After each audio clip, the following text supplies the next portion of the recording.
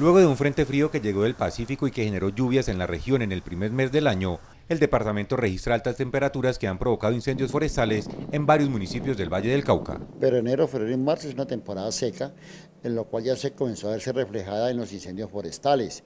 Ya llevamos aproximadamente en 15 20 días llevamos aproximadamente 75 incendios forestales en el Valle del Cauca. Por el momento las zonas afectadas por los incendios forestales son Yumbo y algunos municipios del centro del Valle del Cauca. A ver, eh, eh, empecemos por el día ayer que fue muy fuerte en Yumbo.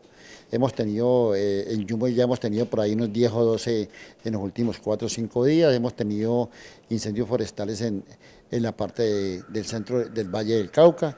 Y algunas situaciones que nos presentan en, municipios que sabemos que efectivamente es como el caso de Dagua, sabemos como el caso de Río Frío. La Secretaría para la Gestión del Riesgo del Valle del Cauca reactivó el trabajo de concientización con las comunidades con el fin de alertar y evitar tragedias por causa de un incendio forestal. Pero la comunidad que cualquier situación que se presente y, comunicarnos inmediatamente.